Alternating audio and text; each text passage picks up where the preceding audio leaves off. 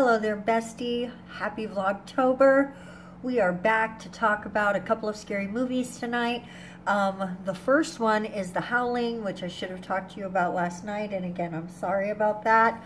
But The Howling, such a good werewolf movie. I'm telling you, there are really not that many werewolf movies, and this is a great example of how a werewolf movie should be done to my mind. It stars Dee Wallace and it came out in 1981 and it centers around Dee Wallace's character. She is a television news reporter slash anchor back in the day when news anchors actually did reporting and stuff. So it, you, it was toward the end of that era though, for sure. And she is on the hunt uh, for a serial killer who has actually contacted her and is obsessed with her. And she is out trying to meet him and get some information about him. And he reveals himself to her and it traumatizes her and she cannot remember what happened. And she's completely shut down, okay? And so she goes to this place called the Colony, which is recommended by her psychiatrist. And from there, crazy werewolf shenanigans ensue. Now, there it's 1981, so all the effects are practical. There's a couple of times where absolutely you're like, okay, that's a really cool puppet. Um, but it is a very cool puppet. So, uh, and there's often times when you're just so mesmerized by the effects, you almost forget, hey, this is just a movie because it's mesmerizing. Um, the acting is great. The uh, the story is compelling. It's just a really good, good movie. I highly, highly recommend it. I swear I'm trying so hard not to sneeze but I feel like it's going to happen. So I'm sorry in advance if it does. I will not finish off and tell you what happens in the end, but um, I highly recommend if you can find The Howling that you get your eyes on that movie, okay? Now, the movie that I watched today is the remake of The Evil Dead.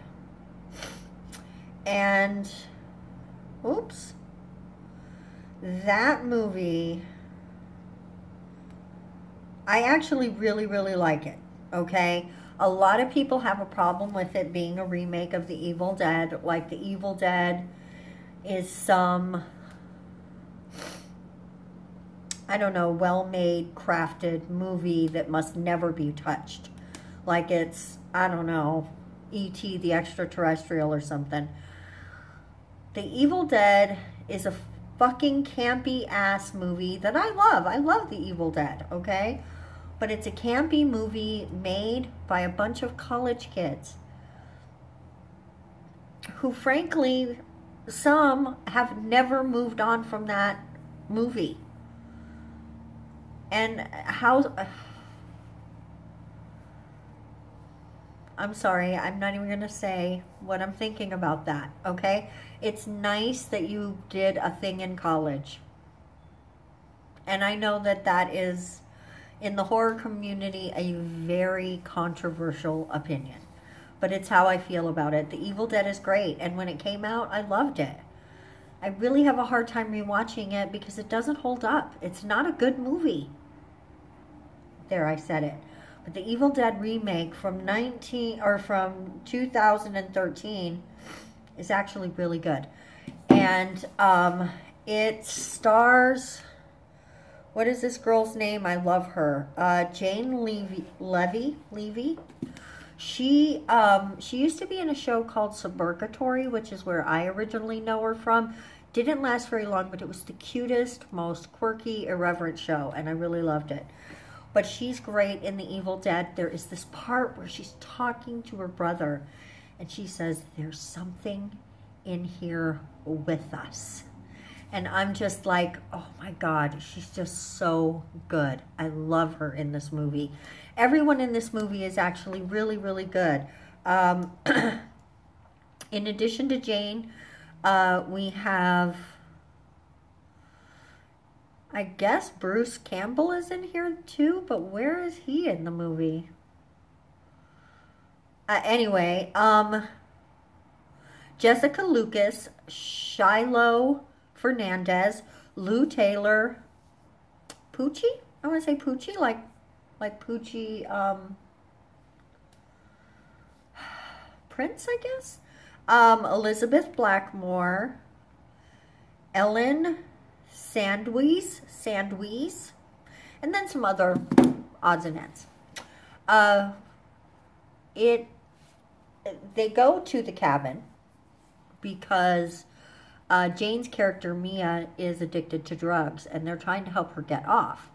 And um, they go out there because it's their grandparents' cabin, maybe, or parents' cabin and um,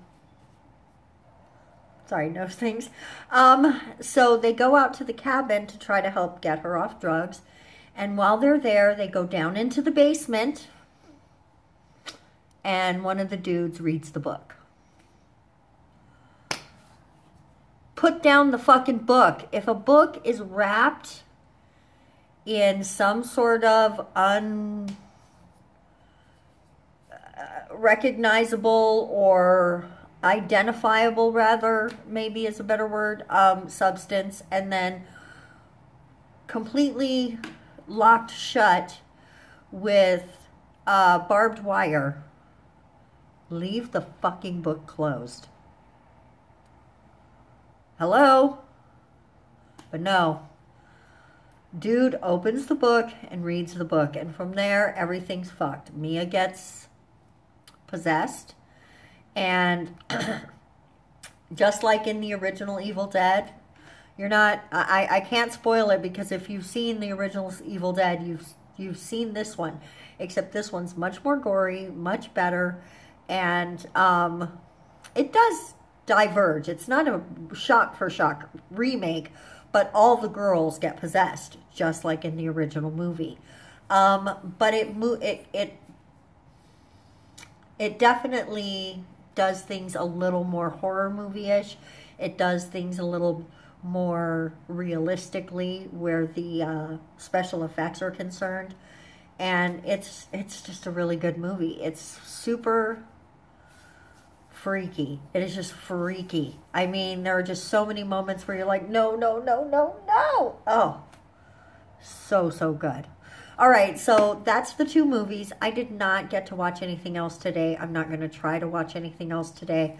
I'm going to figure out something to put on while I do another set of nails on Dolly. I did this set, but you can't really see what it's about because it's been filed but not top coated yet. So if you want to see what that's about, you come by the channel tomorrow because that's tomorrow's video. But I want to do one more set of nails tonight before I hit the sack. So I don't think I'm going to have time for another movie. So we will talk about what I watch tomorrow tomorrow. And if there's anything interesting going on, we'll talk about that tomorrow as well. I don't know, maybe we have a Jeffree Star or something to talk about. You know, one of the videos. Anyway, thanks so much for watching. Thanks for being a bestie. And if you're one of my subscribers, you know that you're my favorite. And I absolutely adore you. So thank you so much. And we'll see you in the next video.